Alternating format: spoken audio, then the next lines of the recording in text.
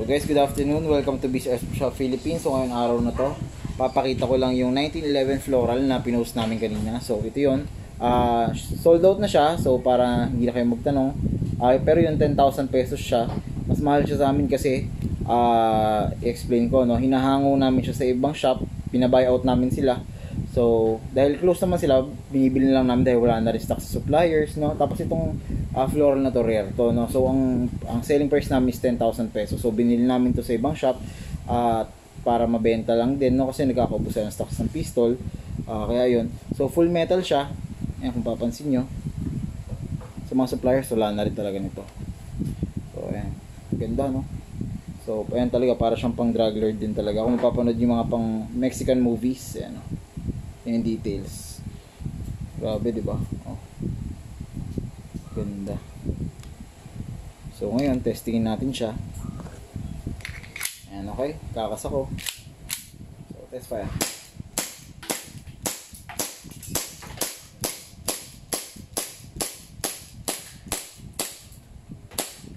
Okay. Wala ng bala, automatic.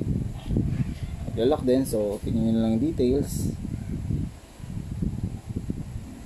So, sulit yung nakabili. Regular customer na nakabili. Dado ng pangalan, Sir Joey, no? Joey. Joey, ayan. Si Sir Joey. Joey Sir Joey si ulit yung nakabili ng unit. Patay na naman siya sa asawa niya.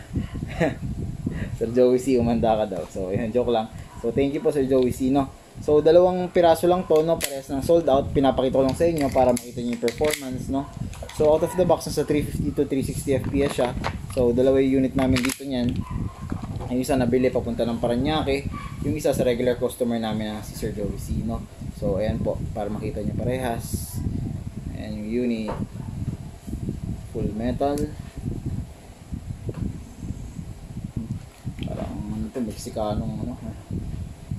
Ang ganda, di ba? So, other side. Ganda. So, yun guys, thank you. Sa Sunday pala may paraffle tayo, no? So, mamaya ipopost ko na yung mechanics para lahat makasali sa raffle, no? Bali, dalawa siguro raffle natin. Isa sa, para sa Facebook natin. Uh, Tapos yung isa naman, dapat na subscribe kayo sa YouTube channel namin, no? Naka-like, share, subscribe kayo sa YouTube channel namin. Panoorin yung mga videos, no? Kasi kung anong kikitain namin in the future dun sa videos, ah, uh, actually binibili rin namin siya ng mga baril tapos pinaparaffle din sa inyo no so kung papansin nyo magaganda yung prices namin no puro mamahalin uh, bali dalawang raffle gagawin namin siguro sa Sunday. So isa para sa mga pistols isa naman para sa rifle. So high end yung pamimigay namin. High end na pistols tsaka high end na rifles no? Kaya abangan nyo. Uh, yung page simulan nyo na i-like and share. Kailangan uh, may screenshot kayo na nakalike kayo at shinare nyo yung page sa wall nyo, no?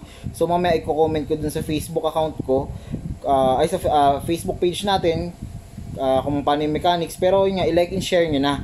Tapos i-print screen nyo na nakalike kayo at nakashare kayo, no? At tapos i-comment nyo dun mamaya sa ipopost ko. Okay? Tapos yung sa YouTube namin, mag-like and subscribe na kayo. Andun sa uh, page namin, yung mga links kung ano YouTube channel namin, no? So, like, share, subscribe sa Facebook page tsaka sa YouTube channel. So, yun guys. Thank you.